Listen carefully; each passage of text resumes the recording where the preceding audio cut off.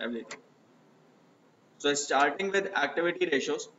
Activity ratios primarily हमने नहीं करे थे. ज़्यादातर रेशियोज एक्टिविटी रेशियोज हमने अभी तक बिल्कुल नहीं करे हैं. द रीजन इज़ कि activity ratios make use of multiple financial statement कुछ डाटा बैलेंस शीट से लेते हैं कुछ डाटा इनकम स्टेटमेंट से लेते हैं और कुछ डाटा कैश फ्लो स्टेटमेंट से लेते हैं. So due to that reason we haven't yet touched on these लेकिन हम आज जो है इसको एक्टिविटी uh, रेशियोज को सारे कवर करेंगे और कंप्लीट करेंगे सो एक्टिविटी रेशियोज के अंदर जितने भी रेशियोज हैं you will look into it they will be some kind of asset in the uh, denominator uh, mostly and there will be some kind of revenue or some kind of cost of sales or some kind of activity in the numerator so it tells you that how efficient uh, have the company uh, so, so it tells you about the overall efficiency of the company कि company कितना efficiently जो है वो revenue generate कर लेती है या कितना एफिशिएंटली अपना स्टॉक बेच लेती है या कितना एफिशिएंटली अपने रिसीवेबल्स या कैश मैनेज कर लेती है।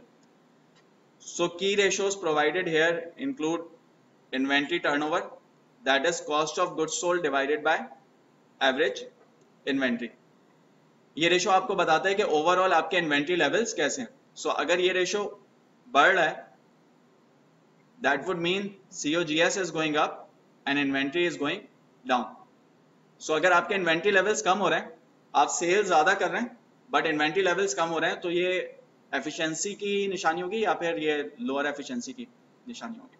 अगर आप sales ज़्यादा कर रहे हैं लेकिन आपके inventory levels कम हो रहे हैं so is it good or is it bad? It is good. So that why because you are able to sell more, uh, sell more with the lower inventory. और अगर इन्वेंट्री कम होगी तो inventory management की cost भी कम होंगी। So that means you are able to sell more with lower inventory. So अगर ये इंक्रीज हो रहा है so that would be good days of inventory on hand days of inventory on hand tells you that how many days does it take you to convert your inventory into a sale और convert और to sell your inventory. So it is number of days in period divided by inventory turnover. So for example, for one year it will be 365 divided by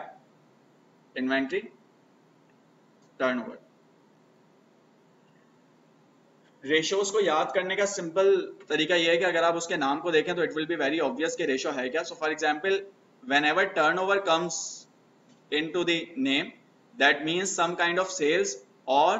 cost of good sold are involve या तो sales का कोई related ratio होगा या फिर cost of good sold related ratio hoga because turnover is uh, sales so mostly it will it will have some kind of sales or cost of goods sold in the formula as it is inventory turnover that would mean some kind of sales in numerator divided by inventory and as it is inventory turnover so inventory की valuation किस basis पे होती है cost पे होती है या selling price पे होती है cost पे होती है so that means numerator में भी we will take cost of goods sold. So inventory turnover would be cost of goods sold in numerator divided by inventory in denominator. And if you have to convert it into days, then simply you divide it by 365. That is number of days in year. Again, inventory days अगर बढ़ रहे हैं तो अच्छा होगा या कम होंगे तो अच्छा होगा कम होंगे तो बेहतर होगा सो दैट दैट मीन्स के आपकी एफिशिएंसी इंप्रूव हो रही है and you are able to uh, hold less inventory या फिर make the sales with lesser inventory. Moving on, receivables turnover same again. So receivables and turnover that means some kind of sales in numerator and receivables in denominator. Uh, cost of goods sold क्यों नहीं लेंगे sales क्यों लेंगे इसमें या revenues क्यों लेंगे because receivable जो होता है that is for the sale that you have made so receivables के साथ align quantity would be sales and not cost of good sold receivables turnover बढ़ेगा तो बेहतर होगा या कम होगा तो बेहतर होगा? रिसीवेबल्स बढ़ेगा तो? रिसीवेबल्स टर्न कम होगा तो बेहतर होगा। दैट मींस कि आपके रिसीवेबल्स कम है और सेल्स ज़्यादा हैं। तो अगर आपके रिसीवेबल्स कम हो रहे हैं दैट मींस कि आपके कस्टमर्स आपको जल्दी पे कर रहे हैं and it is good for your working capital और good for your cash cycle days of sales outstanding simply 365 divided by receivables turnover that is converting receivable turnover into days it tells you कि customer कितने दिनों में आपको पे करता है so again अगर ये कम होगा तो दैट इज़ गुड और अगर ज़्यादा होगा तो that is a problem payables turnover that is आप अपने परचेज uh, अपने सप्लायर्स को कितना जल्दी पे कर रहे हैं so that purchases divided by average trade payables. Again, if you have to convert it into days, you can simply divide it by 365. Working capital turnover revenue divided by working capital that is turnover divided by working capital fixed asset turnover again turnover divided by fixed asset and total asset turnover is turnover divided by total assets sorry yeah so generally there are two types of uh, you can say amounts that you can use so कुछ analyst जो हैं वो last year का सिर्फ़ amount use करेंगे और कुछ analyst जो होते हैं वो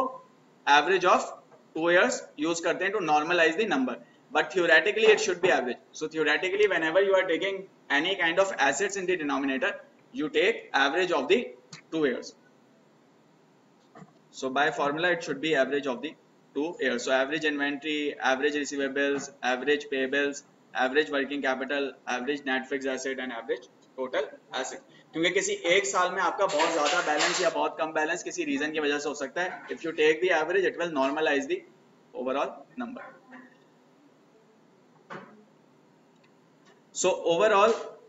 अगर डेज़ सेल्स आउटस्टैंडिंग बढ़ रहे हैं so that is a sign of problem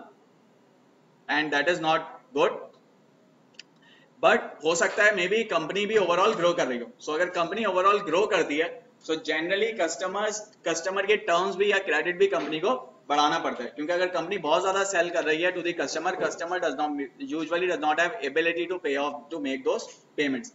so generally growth के साथ क्रेडिट पीरियड बढ़ता रहता है या डेज़ सेल्स आउटस्टैंडिंग बढ़ते रहते हैं। So while it is a problem it is not always a problem you need to find out the reason for this change अगर रीजन ये है कि कंपनी ओवरऑल ग्रो कर रही है so it might not be a bigger problem लेकिन अगर company grow नहीं कर रही है, लेकिन फिर भी क्रेडिट डेटा डेज़ बढ़ रहे हैं that can be a bigger problem secondly जब डेटा डेज़ बढ़ते हैं दैट इज़ सेल्स आउटस्टैंडिंग बढ़ती हैं देन कंपनी की डिफ़ॉल्ट की कस्टमर्स uh, की डिफ़ॉल्ट के चांसेस भी बढ़ जाते हैं। सो so, जितने ज़्यादा आपके रिसीवेबल्स होंगे उतने ज़्यादा चांसेस होंगे कस्टमर के डिफ़ॉल्ट करने के। So then you need to find out कि अगर रिसीवेबल्स बढ़ रहे हैं तो कंपनी की प्रोविज़न फॉर बैड डेट भी बढ़ रही है या नहीं बढ़ क्योंकि अगर रिसीवेबल्स ओवरऑल बढ़ रहे हैं देन प्रोविज़न भी बढ़नी चाहिए because there are more chances for the customers to default अगर प्रोविज़न नहीं बढ़ रही और sales outstanding day sales outstanding बढ़ते जा रहे हैं दैट मीन्स के देर आर चांसेस के कंपनी ने प्रोविज़न अंडर बुक करी हुई हो, या कंपनी ने पूरी प्रोविज़न बुक नहीं करी हुई हो, और उसकी प्रॉफिटेबिलिटी ओवर स्टेटेड हो। So you need to align your days sales outstanding with provision amount as well क्या अगर डे सेल्स आउटस्टैंडिंग बहुत ज़्यादा बढ़ गए तो प्रोविज़न शुड ऑल्सो इंक्रीज अगर डेज़ सेल्स आउटस्टैंडिंग बहुत ज़्यादा कम हो गए so provision should also may be decrease और may be slow down So these are the overall activity ratios. Uh, fixed asset turnover, total asset turnover and working capital turnover tells you that how many uh, uh, it, it tells you okay with every one dollar of investment what is the amount of revenue that you generate so agar aap zyada revenue generate kar rahe hain with lower investment that will be positive और अगर that will be more efficient और positive अगर आप investment बहुत ज्यादा कर रहे हैं लेकिन उसके अगेंस्ट रेवेन्यू कम जनरेट कर रहे हैं so that will be a negative sign or that will lead uh, that will reflect lower efficiency. So all of these ratios or most of these ratios will tell you about the efficiency of the company and productivity of the company and its ability to convert its uh, investment into revenues. That how quickly does the uh, company converts its investment into revenues. So any problem so far in this this activity?